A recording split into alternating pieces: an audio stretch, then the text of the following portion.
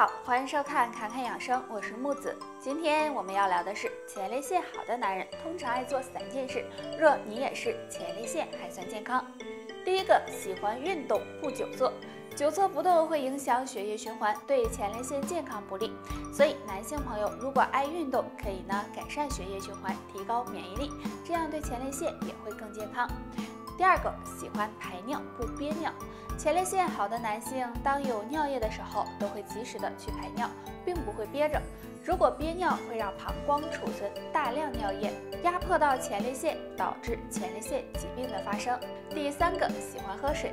一般男性啊不怎么爱喝水，可是如果不喝水，尿液浓度就会升高，这样很容易刺激前列腺，不利于前列腺健康。所以啊，养成爱喝水的习惯，可以促进排尿和身体排毒，这样对前列腺健康也有帮助。那也可以呀，常用桂圆、枸杞茶泡水喝，也能够帮助养肾、保护前练习。生活中我们经常坐着不动地儿，弯腰时间太长，或者是搬重物，这些啊都可能给腰造成损伤。那腰不好的朋友，除了要避免这些不良姿势，还可以常做下面这个拉筋动作。这个拉筋动作呢非常简单，就是站立弯腰，左右摇摆。首先呀，保持站立的姿势一分钟，然后下半身不动，上半身尽量的向左或者是向右弯曲，每个方向坚持十秒，还可以向前后弯腰，每次练习五到十分钟，也可以适当的增加时间。这样弯腰呢，可以锻炼腰部和腿部的肌肉，疏通经络，促进血液循环，能让腰腿更加强壮。同时还有瘦腰的作用哦。大家做的时候啊，要量力而行，循序渐进的练习，不能够操之过急，要不然会有反效果。是运动锻炼对身体是非常有好处的，但是很多人会有疑问，为什么我每天锻炼，体质还是很弱，病也没有少呢？首先，可能是你运动的不合理。合理的运动包括运动的时间、运动的方式。很多人选择了不适合自己的运动，运动时间也没有合理的安排。运动时间并不是越长越好，要根据自身的条件适当的增加。每天最好进行至少半小时以上的有氧运动，比如慢跑、游泳、快走、自行车等。每周五次以上才会有效果。那除了这个，还有一件事比运动还重要，大家可能没有注意。这件事就是补充营养。很多人只是单纯的运动，没有注意通过食物补充营养。如果营养不充足，很容易造成身体营养不良。中老年朋友平时要注意营养均衡，荤素搭配，多补充蛋白质、维生素以及矿物质，这样才能让体质越来越好。还有每顿饭吃七八分饱就行，可以少食多餐，一天多吃几顿，这样对健康更有帮助。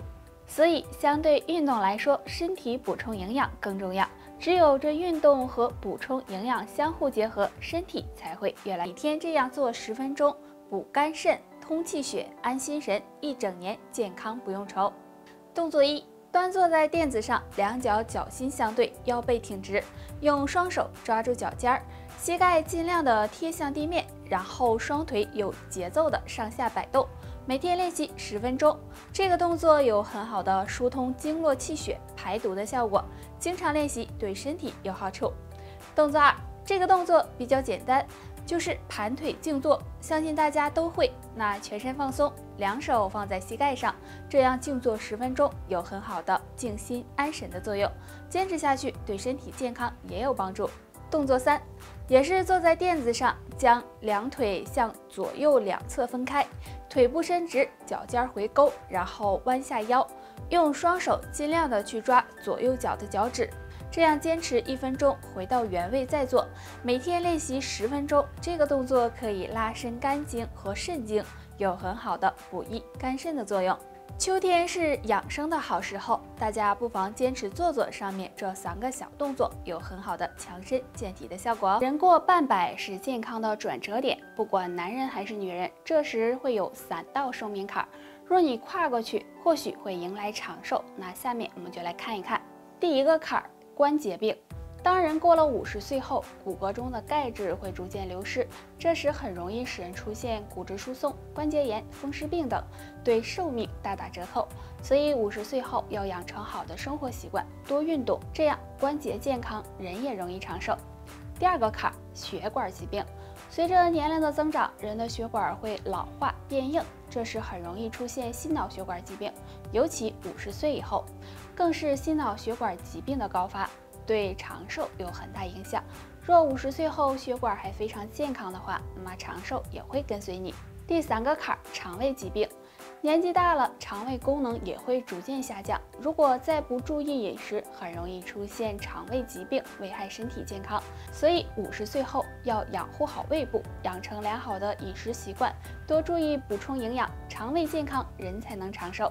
所以，当然过了五十岁后，一定要多注意保养自己，多补充营养，适量运动，保证充足的睡眠和一个良好的心态，有助提高身体的免疫力，预防疾病。肝脏对我们来说很重要，有很好的解毒和排毒的功效。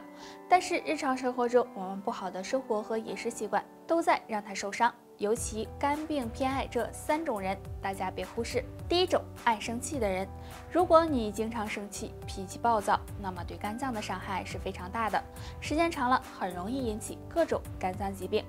第二种，长期熬夜的人，晚上十一点以后是肝脏排毒的时候，如果长期熬夜会影响到肝脏的排毒，对肝脏健康不利，所以大家要注意。第三种，饮食不规律的人。由于现在的人压力都比较大，很多人会忽略了饮食，经常饮食没有规律。如果长期这样，也会给肝脏带来损伤，引起肝脏疾病。那俗话说，肝不好人先老，所以日常养肝是很重要的。那该怎么养肝呢？下面推荐大家一个甩手动作，动作很简单，自然站立，双脚分开一定距离，左腿弯曲，右腿保持伸直。脚尖儿都朝前，要感觉大腿内侧有拉伸感和酸痛感，然后两手放在身体两侧，五指张开，这样前后甩动手臂，幅度尽量的大一些。这样甩手三到五分钟，那这个动作可以帮助疏通肝经，起到疏肝理气、养肝排毒的效果。寄生虫最多的三种食物，很多人一直当美食，医生几乎不吃。第一种鳝鱼。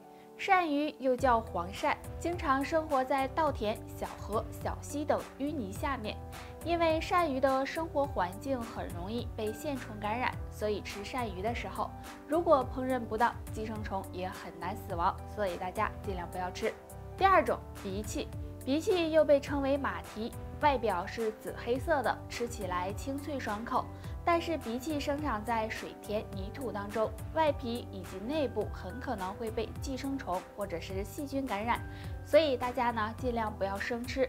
如果想吃，最好将它煮熟之后再吃。第三种田螺，田螺是餐桌上常见的食物了，田螺中很可能存有寄生虫，即使是经过高温烹饪，其中的寄生虫也很难被杀干净，所以建议大家最好少吃。为了自己身体的健康，上面这些食物大家尽量就不要吃了，不要因为嘴馋给健康带来隐患。随着季节的变化，人呀也跟着在变，尤其呢现在秋天了，比较容易肝火大，还有啊经常吃辣的、压力大的、喜欢生气的，这可都是肝火爱找茬的对象哦。那肝火大呢，就容易失眠、多梦、嘴巴苦，还有头痛。哎。今天呀，木子就给大家推荐两种肝脏的灭火器：野葛根粉。野葛根粉含有多种啊对人体有益的营养成分，可以呀帮助修复肝细胞的氧化。经常吃一些，对排肝毒和平肝火也有帮助。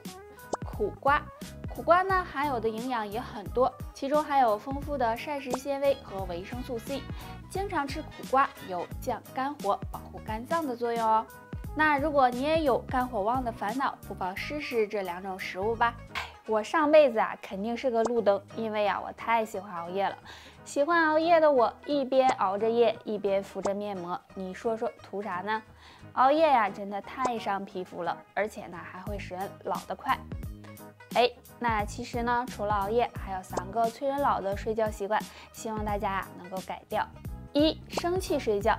生气睡觉啊，很容易使人呢失眠，就算睡着了，也容易做梦，易醒不利于机体的修复，加速人衰老。